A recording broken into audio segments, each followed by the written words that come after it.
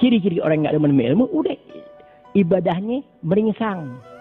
Iya, namanya orang pegang uang palsu, megang uang palsu, mau dijajanin nggak bisa di tempat terang, nggak bisa di tempat orang-orang yang punya apa detektor, iya, ultraviolet, kalau mau belanja dipakai ultraviolet dulu nih uangnya, nggak berani dia.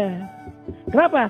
Karena dia sudah tahu dirinya ketolak dengan uang palsunya. Sama juga orang sembahyang, ilmunya gak mau meringsang hidupnya.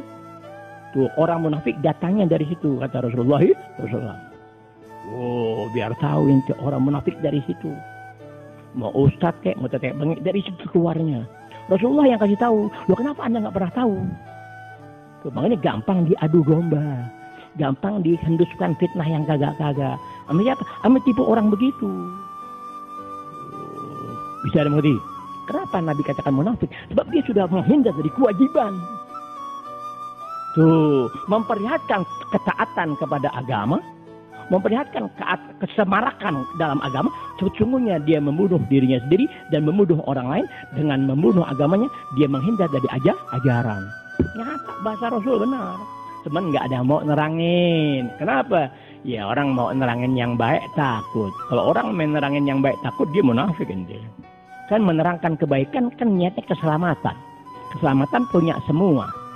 Kenapa ente takut sama saudara sendiri? Sedangkan niat ente menyelam, menyelamatkan. Lo kenapa ente takut? Oh takut jadi orang nggak demen. Oh takut jadi nggak diundang tahu.